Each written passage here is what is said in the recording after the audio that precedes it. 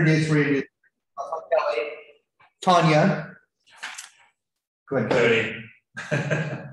Cody. And Cody, you've been with us for three Five, months? six months, Yep, like yep, yep, yep. Mark, Yep, I just joined last month, okay? so, Welcome. thank you. Michaela, uh, I don't even know, like six months probably. Okay, Uh, my name's Arthur, I was with the company a couple of years ago. just took some time off. welcome back. Welcome back. I'm Who are Melody. you? I know, who am I? Um, I'm Melanie. I've been with Keller Williams for about three years. I was one year as admin and two years now as an agent, so. Thanks for sitting in today. Yeah, of course. Glad to see you. We just joined like a couple of weeks ago. Oh my goodness. Thank you. Hi, Brian.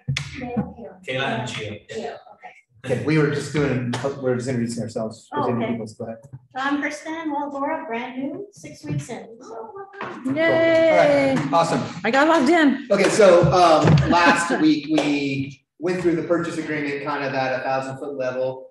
Um today we're going to create a create an opportunity command because we all need to know how to do that. If you don't know how to do it, then this is your opportunity to learn. Pay attention because you need to be able to sit with your documents and getting that opportunity command to be part of that. Uh and then whatever time we have left over, we'll start at the top of the purchase agreement. We'll really dig in, get to the depth of it, um and hopefully get through page two or three, maybe through page three. If not, like we have time, we can do this another week and another week Yeah, and yeah, another week. And actually, the longer it takes on the purchase agreement, is probably because you guys are asking great questions. And so it'll slow us down and that- those questions will be really useful for everybody involved, so. So again, it's not me just, hopefully it's not just me talking or just Tanya talking, hopefully you're all participating as well. Yeah, please ask questions All on right. anything at all. So Tanya, let's start with creating the opportunity. Yep, hang on, I'm gonna share screen and bring it over here. Did I do that right, Austin? Yep, it's over there, and you guys can see there's Brian. Say hi to Brian. Hi, Brian. Brian, can you hear? We have a whole classroom here. I know, it's impressive. You're sixty people. 60. Okay. Do you want me to teach on this? Yeah, it's your. It- it's my thing. I mean, I can do it, but I'd fumble through it. so. All right, so I'm just gonna get up first You because want me to, I'm gonna just talk. Yeah, you want to do that? Let's Let's talk try places. it. Oh my Let's try to gosh, hey, because I like to talk with my arms and everything. Um, everybody, you don't have to use command if you don't want to for your general business. But if you want to get paid, we have to use command and we're going to teach you today what section you have to use to do that, right? So first and foremost, the first thing you have to do is actually create a contact to create an opportunity. All opportunities are transactions for you that have been in the business, you know, a transaction, right? That's your paperwork and the, the, uh, the listing or the purchase agreement, right? We call it opportunities in here because we're gonna start that opportunity from the minute we know that these people are gonna buy or sell a home with you in the next twelve months. Because this is an insight. Do you wanna just go right over to opportunities real quick? Handshake. This is your insight into your, this is your pipeline, right? So from the minute we're cultivating them to buy or sell with us, and it also will show you, click on the Tanya one up at the top. Mm. Tanya, right next to, there you go. It'll show you like a rolling income of what you have. So this is your insight into rolling twelve months. What am I gonna make? And how, where are my people at in my transactions? So first thing we do is create a contact. So go ahead and go over to, um, or you wanna, do you just create an opportunity? uh, I just create an opportunity. I- Do you? Okay, well, I don't want them to learn that way. Okay. So you need a person in here, right? So we're gonna create, we're gonna create a contact. So add a contact up at the top.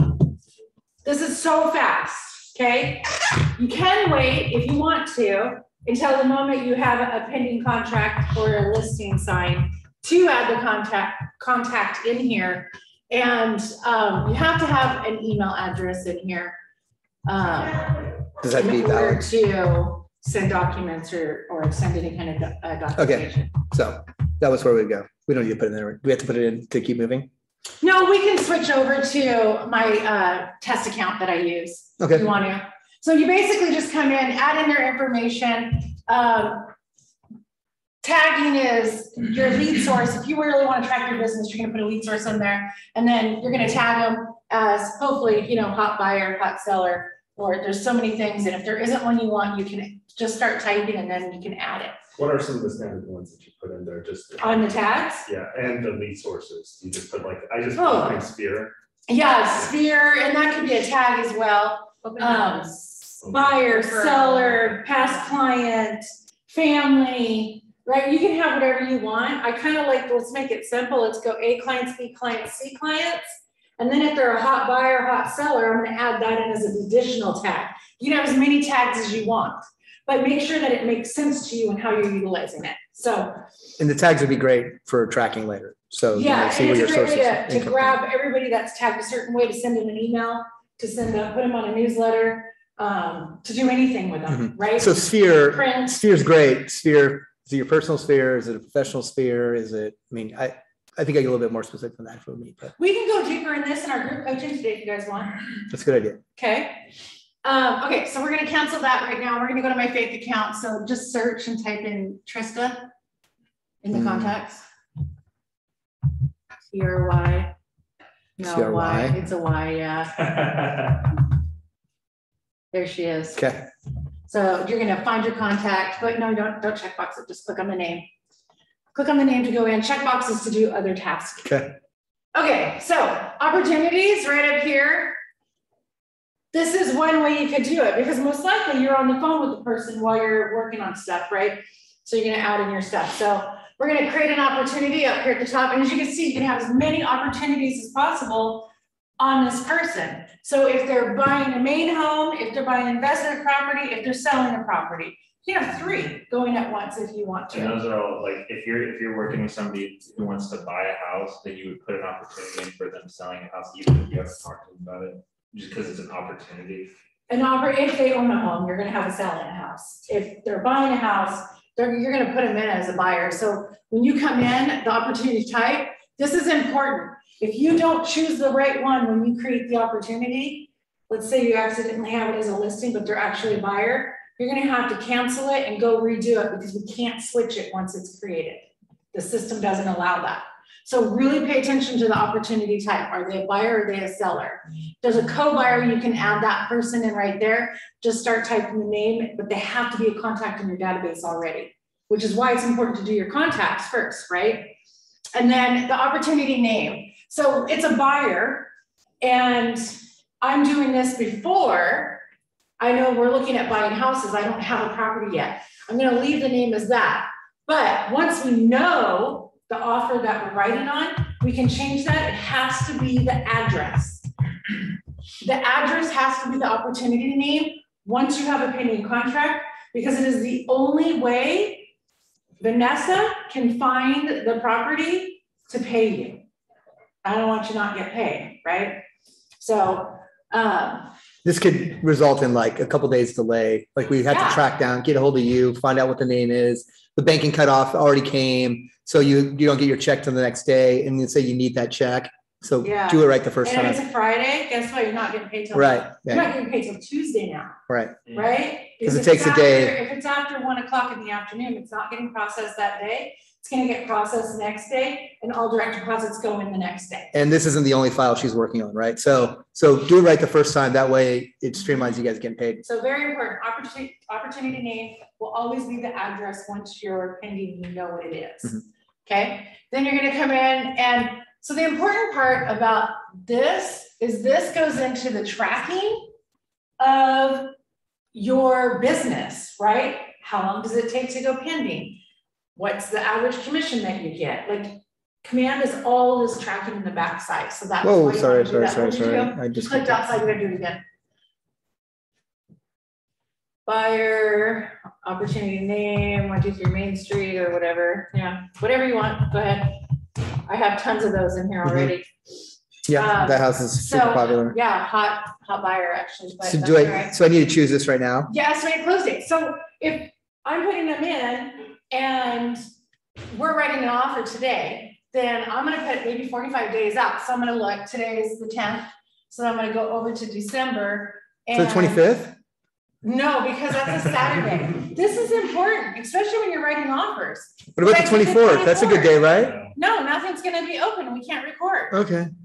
So, and a lot of, Clackamas County is not open on Friday or is it closes early? on Closes Friday? early on Friday. So Fridays are not good days. I always do Wednesday. Wednesday's a fantastic day for closing. What happens if the lender doesn't get the docs over in time and we can't close? Now it rolls to Thursday. Nine times out of 10, your buyers are excited. They want to move in over the weekend, right? They might have movers already booked to move in over the weekend. Painters lined up to take care of the stuff. So make sure you give yourself a couple days. Can we just go back up to one thing real quick here? Um, this might be helpful for those of you who are are gonna have a team. So there is um, a spot here for owner. So if you're part of the team, you could put the owner of the opportunities name in here. And that's effective because um, it allows me to communicate with them as a principal broker on the backside and tag them if they have missing parts of their documents that they need for the file. So anyways, Yeah, so, and, and if you're, um, you saw when I told him to switch from the MC TTT, or what, what, do- I don't even know what to call it. Yeah. R five seven five team to my name, because I'm a rainmaker, so I have the team and I have my account, and then I think there was another one in there, but, so as a team, you'll see it differently, but when you come in here, the team, that won't be grayed out, it'll actually be dropped downable, okay? All right, commission, and then opportunity, we're an offer, so it's not cultivate, it's gonna be active. And then over here, we're gonna be negotiating, because we're writing an offer, right? That's just gonna put it into the proper stage for you, so then you don't have to go and drag it and drop it where you want it at, and then go ahead and create. So then once it's created, now it's gonna add it over here to, and it's gonna go to the top. The Most recent opportunity will always be at the top. So now we're gonna go click into it. And I've noticed this every time when you're in incognito, it wants to translate up at the top. See that? Okay, so anytime you're in the general on uh opportunity, this is what it looks like. If you need to edit the information, and this is really important in the general, can you go up to, there's a pencil. We can't see them on here. General information, there is a pencil right here. okay, There's a pencil, oh, did you see it show up? Hmm. These dates right here. you guys. It's right there. Yeah, it's, it's light gray on your screen, but for some reason you can't see it on here. These appointment dates, agreement one date, contract date. This is your conversion rates on the back end. So appointment schedule.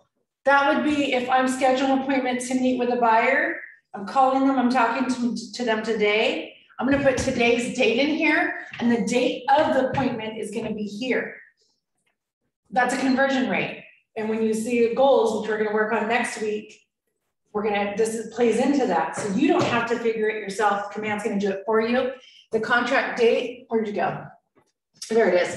Agreement one, so if we wrote an offer today and it got accepted tomorrow, that'll be tomorrow's date. The contract date will be tomorrow's date.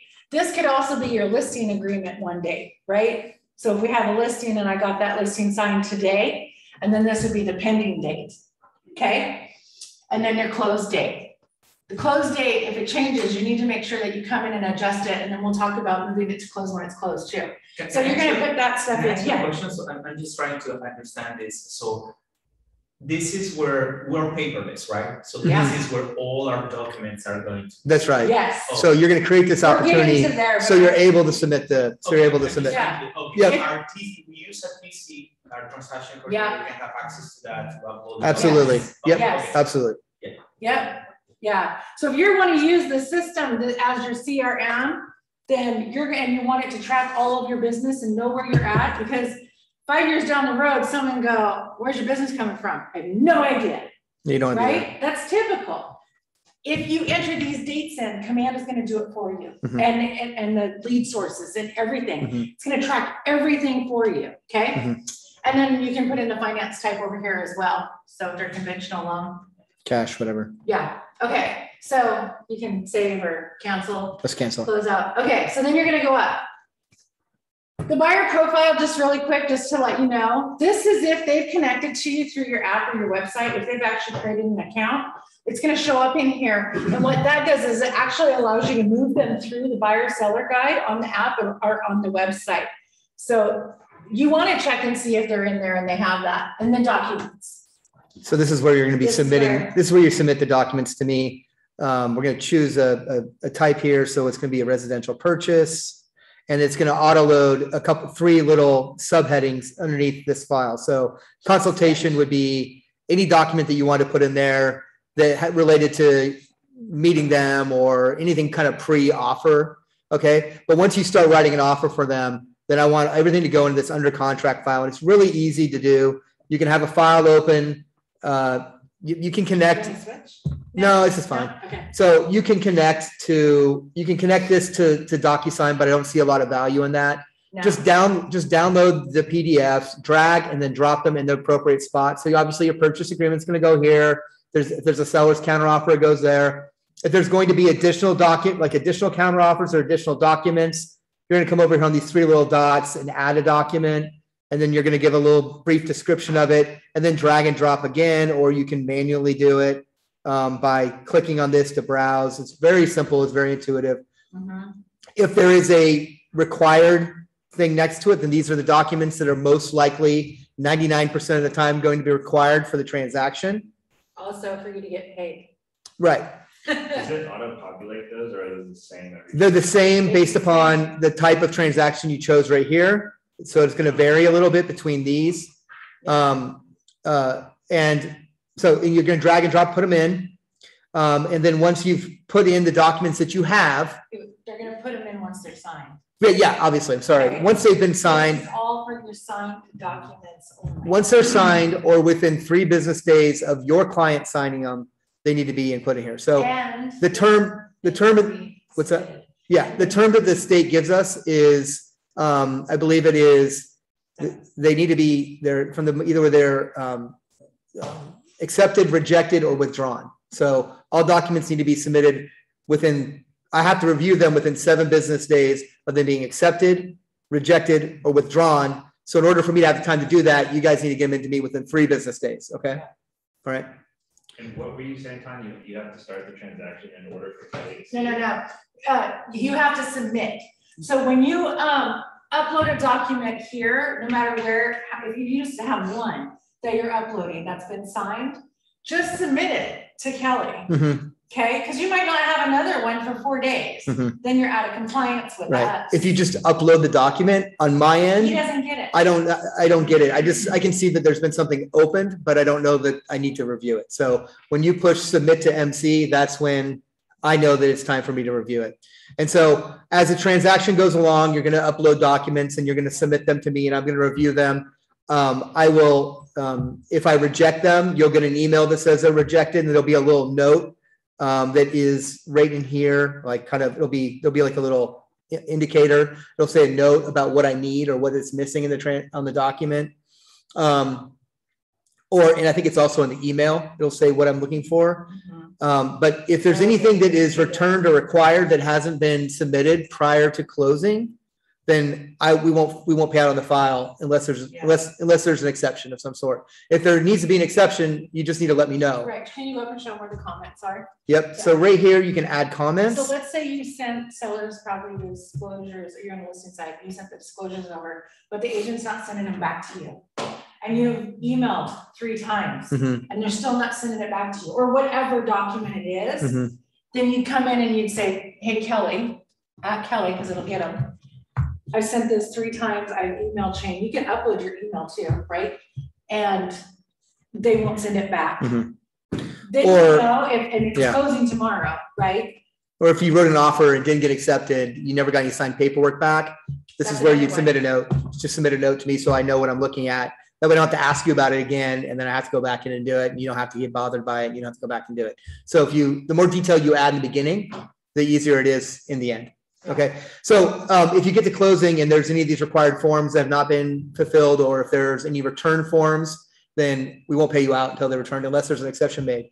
Uh, When you do close the file, we'll need a settlement statement, which will be the final FIRPTA settlement statement or the final settlement statement, and a copy of the qualified substitute statement, which is a FIRPTA document that's prepared by escrow saying that they're the substitute for, that, that, that they've um, You'll complied with both FIRPTA stuff. From your escrow officer. You'll have to, you may have to ask for the, Yeah. for for the qualified substitute statement, um, but usually they give it to you. Upload them here, again, submit them like you would otherwise, and then I will review. them. And then what will end up showing up is over here, it'll say approved. and, right? Yep. Show up right Yep, there? And approved or over returned. here, Right? So you want them both to say approved, Mhm. then you know you're getting paid. Yep. And I usually go in and I look specifically for the closed files on that day, so I kind of move them up because I know you all want to get paid. So I move them up to the front of my list so I can look at them, approve them, and then get you guys. Can you go What you back need. to the under contract? Cause I'm gonna show them something to Mhm. help them out. They're all brand new. You guys don't know what, what contracts do I need? What do I have to use, right? Guess what? Here's your checklist, That's what I was saying. right? Come right in here. Sorry, guys. That's You're all no right. worries. Come right in here. You need a purchase and sales agreement. You need the disclose limited agency. Uh, the, the pamphlet's not on here. but The pamphlet Is is, it down here? uh, it's, it may be down below. It's not required anymore, so I don't require it, so. But you know, in order for them to sign that, uh, the agency, there's, they have to initial that they got the pamphlet, right? So, okay, I need, the, the pamphlet is always first, number one, that goes to my clients. So they understand what our relationship is and have them sign the, and this is on both sides, and have them sign the agency agreement. Then you got your purchase and sales agreement. If it is in an HOA or uh, condo, well, the condo has it on there, but if it's an HOA or if it is, um, in a planned community that has an HOA, then you're gonna have the HOA addendum. Mhm. Where's that at? It's in here. It's in there. Mhm. Uh, but anything, and so you just kind of go through this, and some of these, right, the inspection reports, those are gonna come to you later, the lead-based paint addendum. If it, if it's built, uh, Yeah. before And so, and some of this stuff is just there for you to store it. Like, I, I Yeah. don't ever read the home inspection report unless you need me to. So Um, it's conditional, it's right? just, it's just something you're gonna keep there. It's just nice to have in the file. Think of this as your cloud storage for all of your transactions and Mhm. everything that you get. And if you go back over to the top, Kelly, right here, custom folders, add a custom folder. Throw in your images, your pictures of the property if it's a listing. But I can't review those, just so you know they don't. can't See those. they So won't anything that you just wanna have tied to that, that listing Mhm. or that sale, throw them in there, right? If you wanna save your email chain that you have with the agent on the other side, upload it over there in a custom folder, Mhm. miscellaneous information or whatever you wanna call it. Yep. Cool. This is your Dropbox, Should we say? Right? All the emails? Yeah, don't ever. Yeah, you have to keep all your emails. Yeah. For, It's yeah. all So you should either create um, a, an email box um, in your email for that, for that, for that transaction or that client. Or download them and save them on your computer. You, if you're gonna, don't, don't, please don't save them in these, one of these three spots. I mean, if there's one that's Yeah. pertinent to the sale, yes, but don't upload them because I have to review them and I don't want to review all your put them emails. in here if you're. Unless gonna do they're, that. unless they're, if they're relevant, great, but I don't need to know about your communications about whether they want a three bedroom or two bedroom or what. So, or So what their basically what are. I do in my uh, little organization, right? So in my Gmail, I'll create a folder, buyers and sellers or listings, right? And then under subfolder, I'll put in the person's name. And then under that subfolder is gonna be the address of that property. So then all, because if you have a buyer and you end up writing three different offers, right? Yeah. You're gonna have three different folders, one for each address. Because if anybody comes back and, and inquires from the state or anywhere else that there was an issue or problem on one of those transactions, it makes it a lot easier for you to write over and find them in that folder. Yeah, think about it this way. So if somebody calls me and has a question about one of the transactions, or another principal broker calls me because that you made that other broker mad or they're crazy, whatever it is, right? If I have, immediately, I just have to go in there and hope that all the documents are here. If all the documents are here, I can just pick up the phone, have that conversation, or talk to you really quick and have that conversation. Um, But if I don't have the documents, then you've got to get them to me and it slows everything down. And usually time is of the essence. When, when I get involved, time is usually of the essence. So having these documents at my fingertips is good for you. And it saves you from having to be like, oh my God, I'm showing property right now. Uh, I'll just run home and upload them really quick. You don't have time for that. So try to do them as you go. They'll save you time and efficiency later. Yeah. Okay. Can All go Back to the, the pamphlet and the agency disclosure, you're saying that the pamphlet's not uh, mandatory anymore? No. No, you have to deliver it, but I don't need to see a copy. They don't have to initial. Oh, okay. Yeah. Because the agency agreement has a spot in there. The agency agreements always said that you you, do do- it? ev- well, look, yeah, we'll get to it. The Yeah. agency agreement has always said that, that you have delivered, that the sellers reviewed it, but now there's actual spot on the agency the disclosed limited agency agreement where they initial saying that they saw it. Okay. So it's like another layer, you know, it's like, it's monotonous. It's like, I don't know, it's like, it's like I signed something that said I saw it, but now I'm also gonna initial and sign something that said I saw it. So typical oversight. Okay, Are we done? Uh, We should go back to command real quick. Do you guys have any other questions about the opportunity section of it? Oh, wait, no, there is. Um, why don't you go back to opportunities up there? Let's go into one that's actually open. No, wait, hold on. Okay, let's say we upload our documents, we have a transaction that's pending. How do we get into commissions? So offers and commissions. Command has this horrible thing here, which I do not like this, but we have to do it. We have to work through this to open up commissions to be able to submit our commission, okay? So you gotta come in and you have to add a new offer. And it doesn't matter, you can just leave it as that and go in, or you can go and name it whatever you wanna name it and work your way through it, okay? So we have to do these steps here, so, um, you're gonna put in the offer date and the close date. So just leave those there like that, and then the address. See, it has a red asterisk here. You have to have an address on this. Anything that's red in this offer thing that we have to do to open up commissions, just skip through and put in whatever's red, okay? Yeah, just check one. And then go click on parties. And then all you have to do is it automatically fills in your buyer's information. You have to put in the seller name, and then down here you have to put in the agent name. So go ahead and write in something. And then the agent, the associate name, you can, that's good.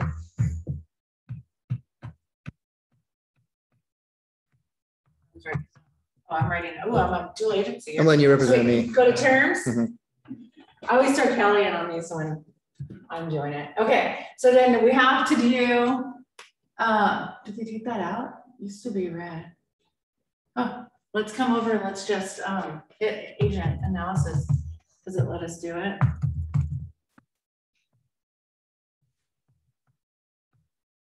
There you go, and then down here at the bottom. So you just do the, just do the fees up there and then hit agent analysis at the bottom. Now, if you really wanted to use this and you have, let's say you have a listing and you have four offers on it, you can actually do each offer in here, do, write in your pros and cons for your seller on why, what's good about this offer, what's bad about this offer.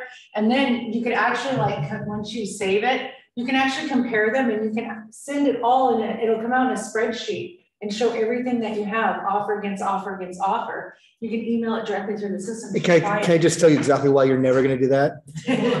Because you don't know what terms on the agreement are relevant to this, to the buyer. You may not know what your seller or your buyer, what you may not know to what's really important to them. So please don't use this. You could do a summary and you could just say I still hate it. cash, I still hate it. no, you don't Still want to do hate it. anything? Yeah. Yes, So when we're opening a transaction, we put the contract in, we do the opportunity, and then we also do the offer. yes, this is what we're doing This would be, here. yeah, This is something that they put in here just for us to get to commissions. I don't like it, but we have to do it to open up the We can do commission. We can do that in the beginning, or, You Yeah, do- or it we- just has to be done before. right. This would be, your offer's been accepted. You've uploaded the documents and get this thing going. Get this out of the way. Yeah. This is the commission part. Yeah. This gets it over to Vanessa. And it also works with, you know, uh, our, our business model. We need to know where we're at, right? Every month on what's so we know there's what's happening. things, right? Yep, so then just do the main things you have to do, hit save, Do we save it? yes. And now, uh, we have to accept it. Do you want me to accept it? Yep, yeah, we want to accept it. Now I can manage the commission on this transaction. So we had to do that in order to do this, okay? So now that I'm in here, now I can actually come in and I can verify the information on this transaction. So if anything's red, it's missing, it's not gonna let you submit this over to, by mail, thank you. You have to edit the information and add in the dates, okay? And then as you scroll down, this is where it comes in, it shows you what your splits are. This is only gonna show you what you still owe in company dollar and royalty. Um, if it, you could have like four of them pending that aren't closed yet, you'll be like, well, I already have these and it's gonna go. This only changes once it closes. Yeah, Okay? so don't look at this and be like, oh my god, I'm like two dollars from capping, why does it say I have to pay all this for capping? Because it hasn't Because registered. they yet. haven't registered until they actually close. But it gives you a good idea. E and O is automatic every single time. This KW Cares is only gonna show up if you're automatically setting that up, that you're doing that, okay? And then, so then we're gonna make sure that that's all correct. If you have a referral, you're gonna go up to edit agent payment. And then you're going to come down and, right down at the bottom right here.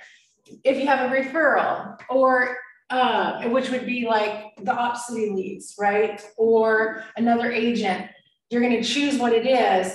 If you have an outside referral to another agent in a different office, you have that referral form, guess what's gonna happen? You need to know the tax ID. That's gonna be on the referral form, okay? If you don't have it, you need to contact them and get them, because it has to get in here to get paid. If you don't get it, then can they just, uh, rip you off? If you don't get it signed back, If you don't have the tax ID number, then they could just say, I didn't get a referral. No, this is you paying them for a referral. Oh, We can't pay them without a tax Yeah. ID number. Yeah, you have to have it. You have to have that agreement, mm-hmm. okay. okay? So if you have the you're agreement, don't think that you are gonna get off on some technicality because you have the tax ID number. You Yeah, need to get the tax ID number. you have to get it. Yeah, you have to reach out and get that. Okay, so go ahead and cancel. So once you have that, then it like does everything in there. Go ahead and cancel on that. And then over here on the, the right-hand side, this shows you the commission check coming in, royalty that's gotta be paid out, any other deductions, your E and O, your KW cares if you're paying that, KWPP cares. Um, we do actually do that directly through here. If you guys choose to do that, it doesn't show up in here. They haven't given us a spot. And we don't want you to have to write in the tax ID every single time, right? Um, and then this is what your check will be when you get paid. So you have to hit submit, don't do that. No, You have to hit submit in order for it to get over, to get approved and, um, for it to be able to go into our system cool. to get paid, okay? That's good. Done. That, we want that done, do that at the beginning. We all know commissions change, right? Sales prices can change after inspections and stuff. It's easy to get in and change it once you do it. Mhm. So don't worry about it, we can still go in and change, but we wanna know, gives us an idea as a business, where we're sitting at, how many closings we've got coming up. It also gives, um, it gives two insights to Vanessa and Kelly on, we have closings coming, we wanna make sure you guys get your documents, if there's anything missing, right, and to make sure you guys get paid on time. And if there's any discrepancy in regards to any of the amounts, who do we contact? Vanessa. Vanessa, right. But some of this stuff, again, it, it won't, it's not up to date to the moment because it's not, gonna if you still owe on your cap or you still owe Yeah, on your thing, then and, it, and it'll, once it, so this is the main one, and then it goes into the Winmore system, right, in the accounting system, where it's actually showing what's been paid out. Okay. So if you have three closings in the same day, um, when it goes through the accounting system that we have, it will stop. It'll run the one, we do one at a time. So it'll run the run and take whatever you have left owed, and then the next ones you're gonna get your hundred percent. Okay, so two different systems. Mhm. For now, I don't know when they're changing that. yeah. They're working on, it. they spent a lot of money on command this year. They'll keep trying to upgrade it and upgrade it and upgrade it. I, I just look at, I just watched a video on another CRM and it was amazing. I don't know the command will ever be that amazing, you know, but they say the best CRM is the one you use. So if you use this one, use it, it's great. If you like another one, great. But these are the basics that you have to know how to do. I have another question. When we are uploading the documents, do they have to be fully executed or Yes. inside the system can we sign those documents? Uh, it goes, it's connected through DocuSign inside here. DocuSign. It Yeah. can connect through DocuSign. I don't think it's super valuable because it, it depends on where you're at. If you have a lot of listings, then maybe it's worth it Because because, then you can directly. upload because it'll directly upload So to what's it. the best workflow for that? Just download the documents and once they're fully executed, 'cause upload really- it to the system? Yeah, because realistically, you're gonna get majority of your documents are gonna come from an agent on the other side fully signed, right? Whether it's they sign the, they send you the purchase, you send it to your seller, okay, you got that in, but on your buy side, you're getting the final one from the Yeah. seller signed, right? So every single one's hitting your Yeah. email anyways, does it, that's not directly connected to the command, Mhm. so it's gonna get uploaded from your computer. Yeah, I You think from a, can Go in and connect, You have to do it at the very beginning before you do anything though. Personally, I just go to zip forms and then I do e-signature through DocuSign on zip forms. Yeah. It's one step. We're, we need, your very first time, we've got to come in and we've got to do that start transaction to connect everything, because DocuSign is free through command. Okay, so you have to do it that first time to make sure everything's connected. But then after that, make your life simple. Just go straight to zip forms to write your offers. Make sure your zip forms is connected to your DocuSign and it's the right one. Uh, you guys that are new, it will be the right one. But those that are not, it, it's gotta get connected and so then we can figure out if it's in the right one or not. Yeah, I don't think it's, it, it, from a systems standpoint, I think you want to do something that's repeatable every time. And connecting and using it one way this time, another way the other time, I just don't, I don't, and it's not like you're saving so much time by connecting, by connecting command to DocuSign. I don't think it's- Yeah. Yeah. Try, Plus, I, I save everything, I save all, even though they're saved here, I save every document on my computer as well. so do I. Because I just, I don't want, like, if I don't have Wi-Fi for some reason, or whatever, if I need to pull up that document and look at it, and I don't want to log on, it just seems like it's easier just to pull, open in a file and see it. So, Yeah, I use Dropbox. Yeah. And Dropbox saves it on my computer and in the cloud. Yeah. So I pay for it. To me, it's worth it, but I'm used to that, right? So that's my system that I utilize to save everything. Command is also your cloud, right? So you don't have to pay for another cloud service. But if you're gonna save stuff on your computer, you better have a big hard drive, especially if you have listings, because those pictures will hog that up real fast, right? Same thing if you're paying for a cloud service, it's gonna take it. And even the documents, because you'll have agents send you documents that are twenty megabytes. It's like, come on, seriously, you can't run it through the system and make it smaller, right? Mhm. So a lot of times you're the one doing that, or your TC is. So make sure that Yeah. you're saving everything And the it- right way. I, I'd appreciate it if you guys would up, when you, when you, when you are uploading documents for review, that you're just, you're not running, you're not submitting big, long, on- run-on things, like separate them out. They have to be separated out. They need to be separated out so I can find it, because I, if I'm looking, if I have to go back and look for it, or if the, a- if the real estate agency comes in and they want to look at the files, they don't want to see a big mess. It looks disorganized, so. And DocuSign uh, can separate your files for you. Yeah. Okay, and your PDFs. Question, uh, on, uh, we call zip forms, right? Yes. So is there like a generate templates that we can, like, that the, that the company use, so we can kind of like start applying the same templates on our listings or our purchase agreements, or we have to create those templates ourselves? Um, there are not, um, no, there, you have to create them yourself. Okay. Within zip forms. Okay, let's switch now. And- We're getting a document. Yep, and so it's up to you if you want to do the template or not. Um, But.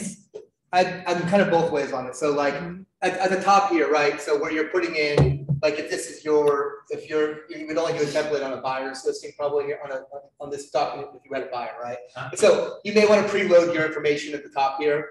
That would make sense. Um, but I don't like a bunch of preloaded stuff because I just feel like it can make mistakes. And also, And every with the time you forms, the forms update, they don't update your, your templates. your templates. So when like, or you have to do the mid-year form adjustment, the, all the ones that are people's templates are not adjusted. They And do, they do them every year too, right? but they do them every year, but they will do them mid-year too. Right. So, so then you have to go back and do it. So it, I, the only, yes, you can save some time by doing this. I don't know how much time you save. But the, the best way to save time on doing your contact information and your, all your license number and everything is parties.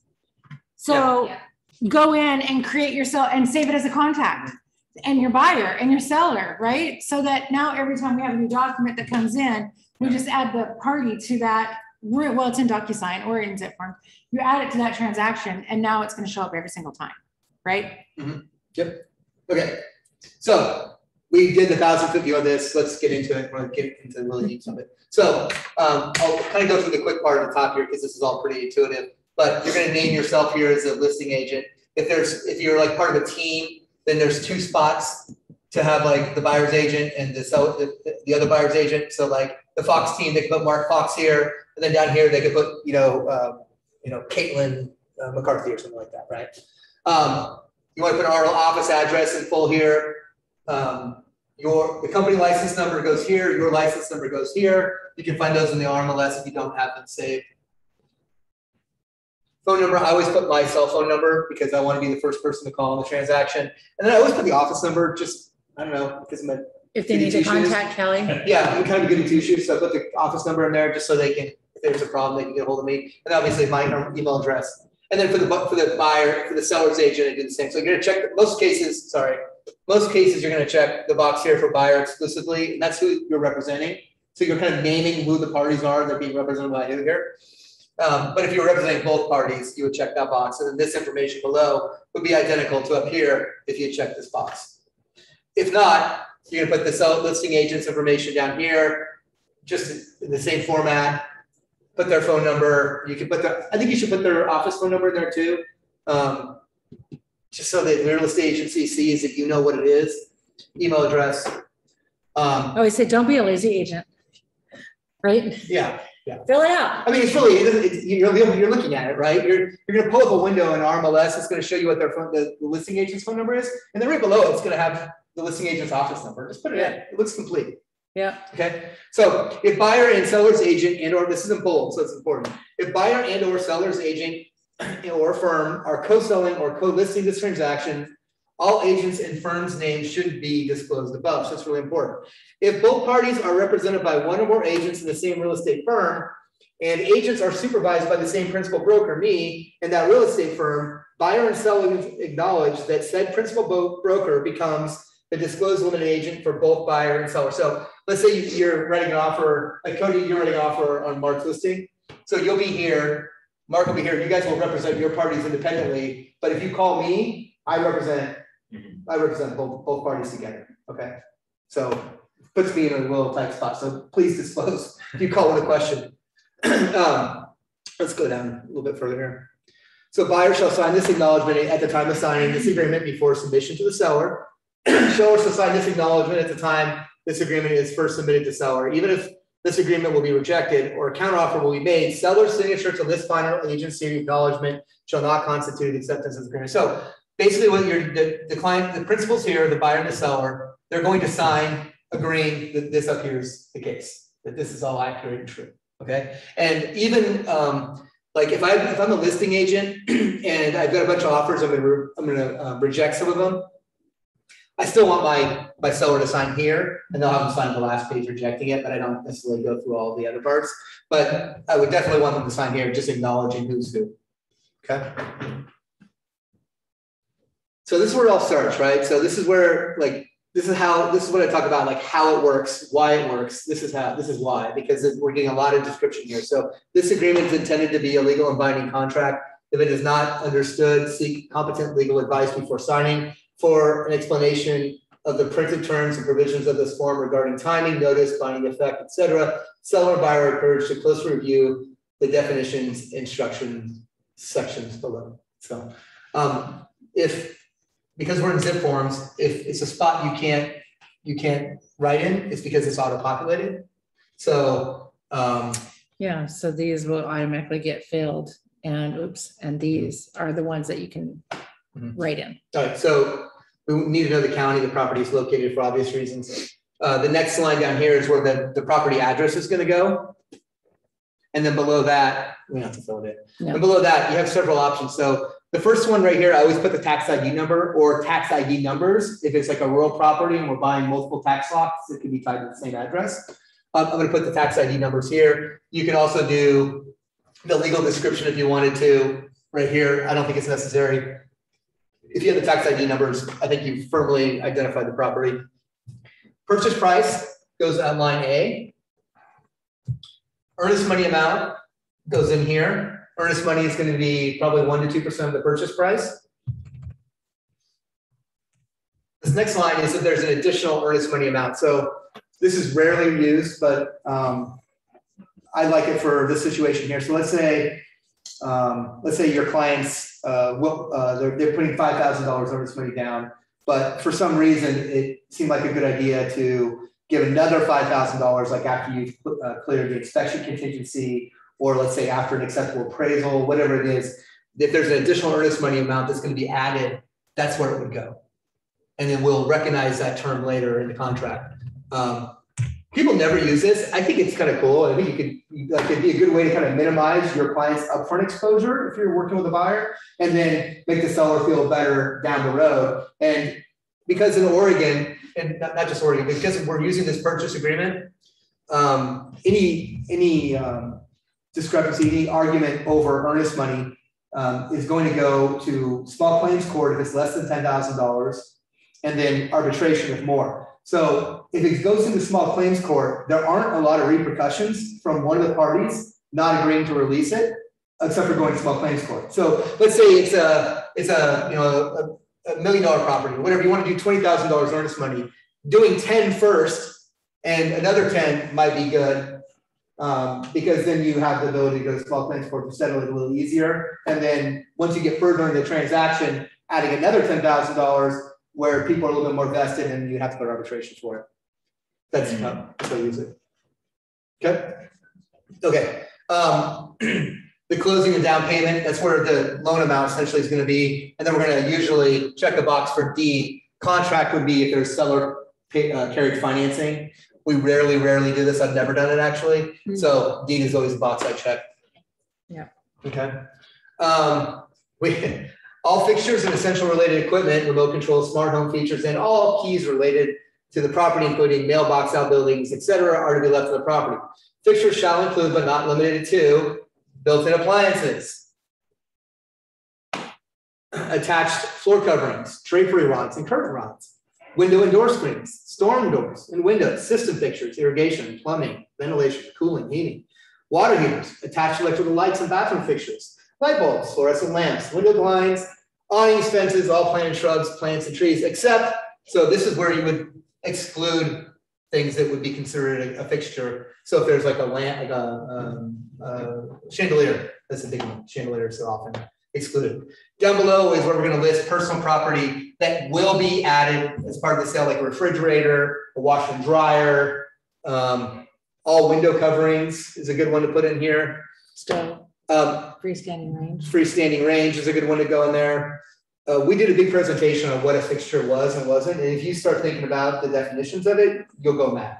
Yeah. So, I mean, absolutely mad. We did a big presentation on it, and I, there's things that I just flat out couldn't tell you was a fixture or not. If you don't, if you're unsure if it's a fixture, but your client wants it. Put it in there. Put it. It's not gonna hurt, right? And if you're representing a, if you're representing a seller, you're not sure if it's a fixture or not, and your client wants it, then make sure that you're gonna exclude it and use some of the wording in here to exclude it.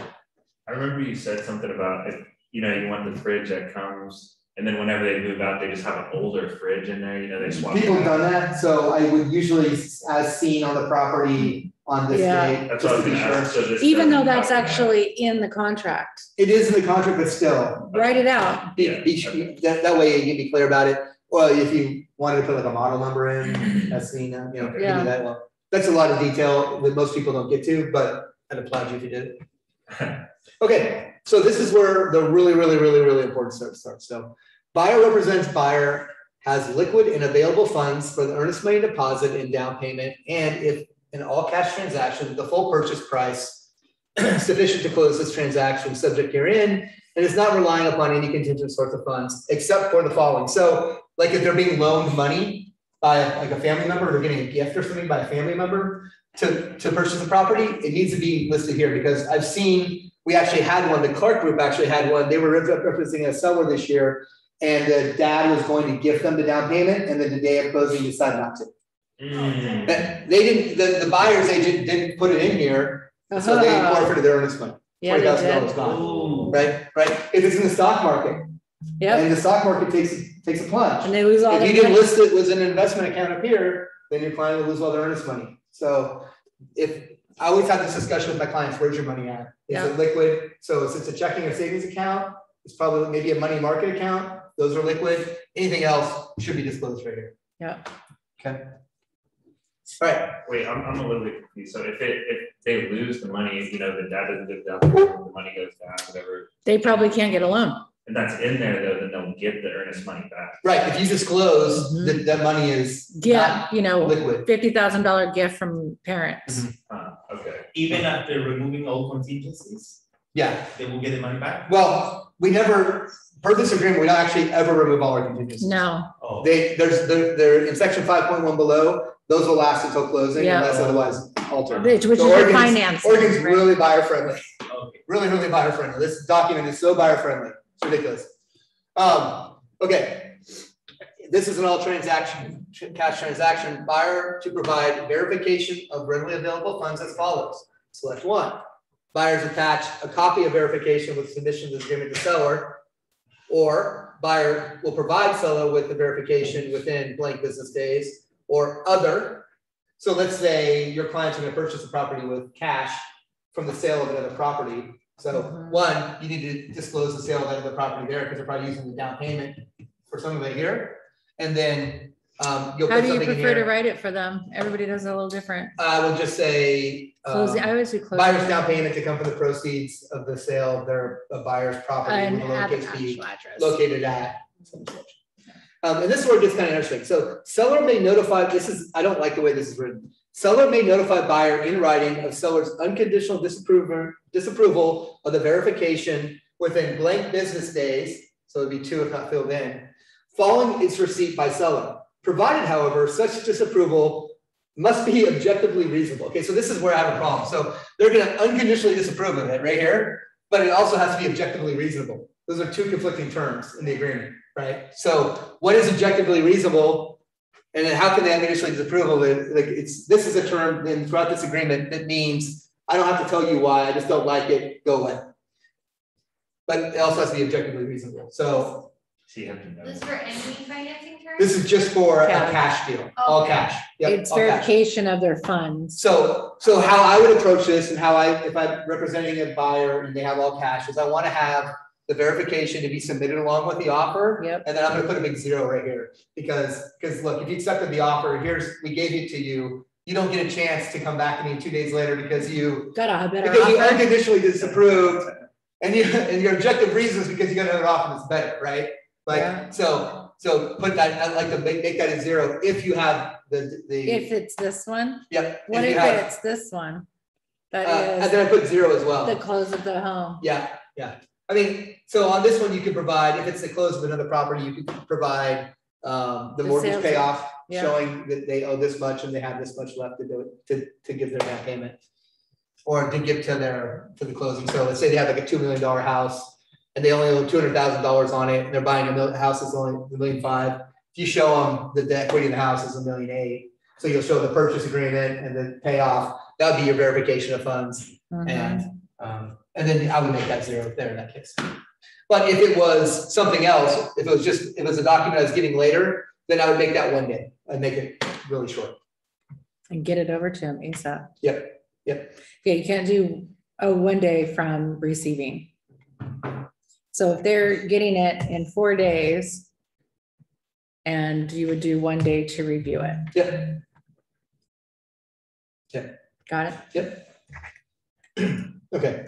So that's just a cash transaction. If it's not a cash transaction, then we're gonna be over here and we're gonna disclose in section B here. What kind of loan the buyer is getting, if it's conventional loan, FHA, VA. Typically, the seller, especially in this market, will not agree to pay bu- buyers uh non allowable VA fees. So if it's a competitive market, check that. If it's less competitive, check this. It doesn't make a huge difference either way.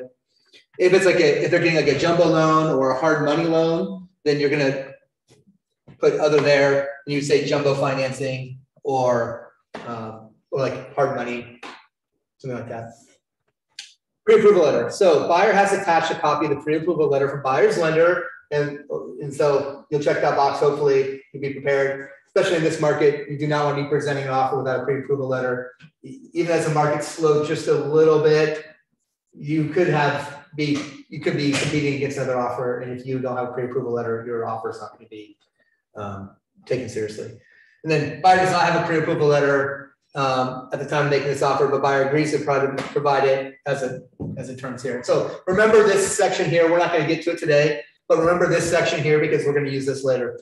Okay, this is a big one. This is one of the most important terms in this agreement. If buyer is financing any portion of the purchase price, then this transaction is subject to the following financial contingencies. One, buyer and the property to qualify for the loan from lender. So buyer qualifying is pretty, pretty obvious, but what would be the property qualifying? What would, what, basically, what would the property not qualify? What, can you give an example of what a property would not qualify?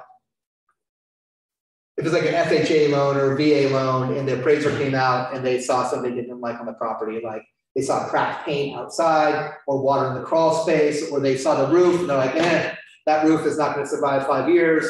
We're going to, the property is not gonna qualify for it. So the, there'd be, the, the appraiser would add some subject, some, some conditions to the appraisal, and those would have to be met for the property to qualify for financing. So that's why that's there. Okay, two, lender's appraisal shall not be less than the purchase price. And three, like if you, if it was contingent upon the sale of a property or something like that, you put it here. If it was contingent upon like someone's finalizing their divorce, you would put that here. Um, anything else that would be financing, a financial contingencies should be listed in right here. Um. There was one spot, I think I that one. Okay, up here, uh, line seventy-two, sorry, guys. If, if you're doing an FHA or a VA loan. Yeah. Then you're going to have to provide this addendum here. This is brand new to the agreement. This is, just came in about three months ago. So there's an FHA and a federal VA mandatory clause. I think one's called an escape clause, the other one's called a mandatory clause. Um, what was happening was that offers were getting submitted, FHA and VA offers, where they would waive the appraisal or they would say the appraised value you know, they could use an appraisal gap where they're gonna make up 10, 15, 20,000 dollars difference between the appraised value and the purchase price. But the problem is, this is a document that always comes along because it's FHA or VA. They won't close a loan without it being signed. So you would enter into the agreement thinking that you were gonna have this appraisal clause, but then in order for the loan to close, you actually have to have this one signed and it kind of defunct, it kind of negated the agreement that maybe you had made, down here in five point one as, as it pertains to the appraisal. And so now they're saying you have to do it front. So people don't like it because they don't like having to face this uh, early on in the transaction. But me, I love it because it's just very upfront. It's very, it's, it's like, it gives out, it gives it, it gives it, because the seller's not probably going to know that the VA or FHA are going to require this addendum that says that the buyer can walk away if the appraisal doesn't come in at value. the buyer the, the seller's not going to know that. So they're going to agree to this offer thinking everything's hunky dory, and then they're going to be forced to sign this addendum three weeks later that negates what the main term, like one of the critical terms of the agreement are. So now we're presenting it up front, and I like it. That's what it should be. Um, 5.2 is too big. So let's So Do you want to so- stop there? yeah, let's stop here. So let's just go over this one last time. I just want to read this because I want it to set in. If buyer is financing any purchase, any portion of the purchase price, so if we're not using the cash option, then this applies. Then this transaction is subject to the following financing contingencies. Buyer of the property to qualify for the loan from lender, and lender's appraisal shall not be less than the purchase price. And then what other ones we write in here? Five point two deals with the failure of these, of these conditions, and we will address that, um, next We're not next week. Yeah, um, next week at noon is Code of Ethics here in this room. So, um, Kelly's class is not happening. Is the Code of Ethics only an hour? Yeah, it's like three hours. Oh, Wow. It's long. um, so we're gonna have to move group What is coaching too. cover? Code of ethics is a required, code is a required, the Real Realtor Code of Ethics, it's required that you take this class. If you have not taken it. if you're a Austin, new are you on licensee, there? Or if you haven't taken it in the last three years, you must take it. You- you- They have it online though. There is a PMR option you can take online. We are hosting one, so, Nope, Austin's yeah, not. and I have to take it. I, Hmm. I need to take it, so, um. So So that's, uh, that's one of those things. I'm here. Like Just want to show that. Yeah, well, what I want you to do is That's on the Google. Calendar, it needs Oh, to, it's only on there for an hour. Is it? on there for now, but it's a three hour class. Yeah, so can you change that on the Google Calendar? Yeah. So group coaching next week. Hmm, I'll get back to you. Thank See you all. we'll So we'll start at five point two in two weeks. Okay, and then Austin, we're gonna, you can stop recording. Um, but everybody's on here, in, in here for the group coaching. So is it okay